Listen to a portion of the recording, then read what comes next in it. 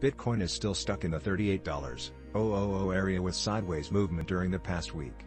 The first crypto by market cap has displayed resilience as traditional finances take a bearish turn.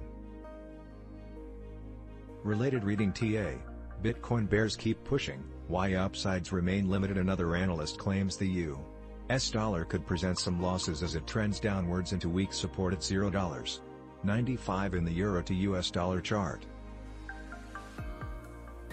The analyst said the following hinting at the possibility of another dead cat bounce and more downside price action for BTC last time it hit one of these was in the first March week. BTC rallied afterwards. So, now that it hit another level, maybe BTC will give us another exit pump before doom?